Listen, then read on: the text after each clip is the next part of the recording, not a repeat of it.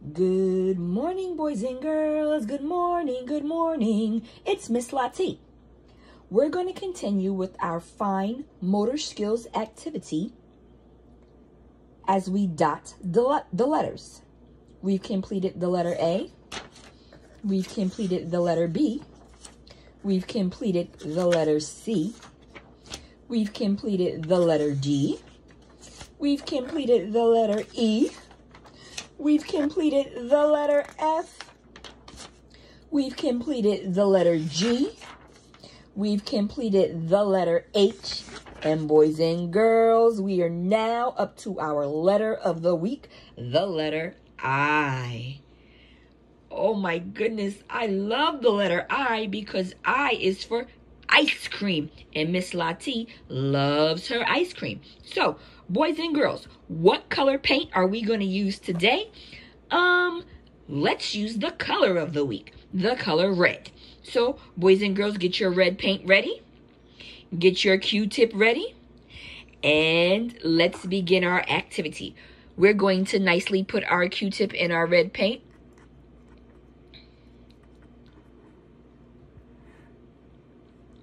And we're going to begin with the capital letter I. We're going to dab here. I, I, ice cream. I, I, igloo. Very good, boys and girls. Oh, Miss Lati has paint on her hands already. Let's dab again. I, I, I.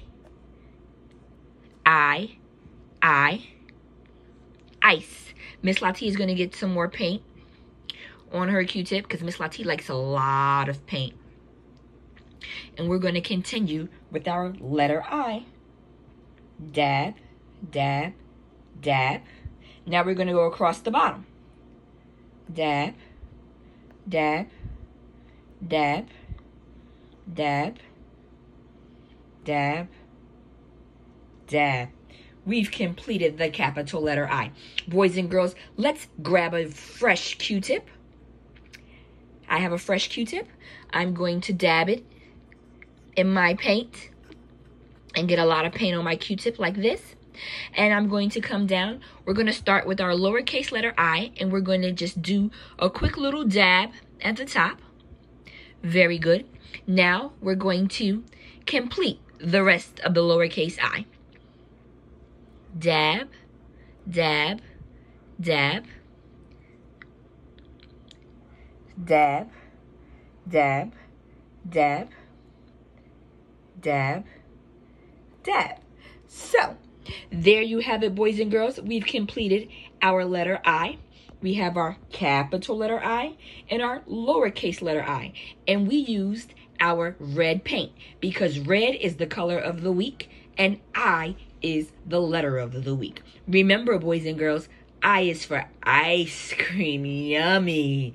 Make sure you go and get you an ice cream snack today. Have a great day, boys and girls. See you soon.